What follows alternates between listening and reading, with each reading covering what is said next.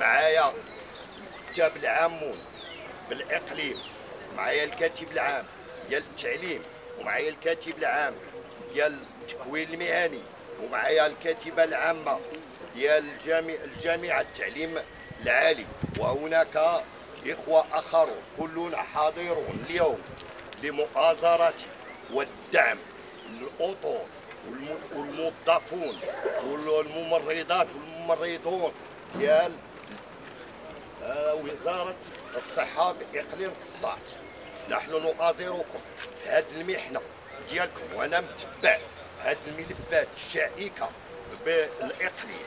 حنا حاضرين اليوم ودايرين هذه الوقفة الاحتجاجية ماشي على مصالح ذاتية أو شخصية وإنما على المنظومة ديال الصحية بإقليم السطات لأنها حتى واحد ما يقدر يختلف معنا لا نقابيين بجميع ألوانهم ولا سياسيون بجميع ألوان أحزابهم بأن المنظومة الصحية لإقليم السطات بأنها في تقاعس على استمرار.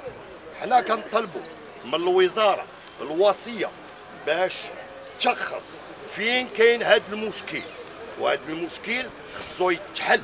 اذا كان وقفة اليوم كتجي في إطار ما أصدره المكتب الإقليمي للجامعة الوطنية للصحة من خلال البلاغ رقم واحد والبلاغ رقم جوج اللي عرفي على الواقع الصحي اللي اللي كيلقى إجماع من طرف جميع مواطنات ومواطنين آه، فعالية مجتمع مدني منتخبين ونساء ورجال الصحة. وضع كارثي كنعتبر أن المسؤول عليه هو المندوب الإقليمي اللي عمر لست سنوات داخل هذا الإقليم.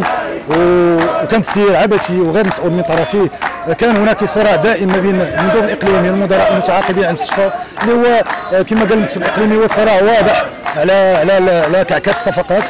آه، حنا اليوم كنقولوا بأن المواطنات والمواطنين النساء ورجال الصحة ما غيتحملوش تكلفات هذا التسيير العبثي للمندوب ال- الإقليمي لوزارة الصحة والحماية الاجتماعية. الصحة والحماية الاجتماعية بإفادة لجنة التفتيش وافتحاص والتدقيق للفحص في كل الاختلالات والخروقات العميقة اللي عرفت تدبير القطاع خلال الست سنوات السابقة. ونطالب كذلك بتعيين مسؤولين عندهم على الأقل مس- مستوى على الأقل من المسؤولية ومن ومن حيث الوطنية ومن الكفاءة قادرين على إصلاح ما يمكن إصلاحه بهذا القطاع على مستوى الاقليم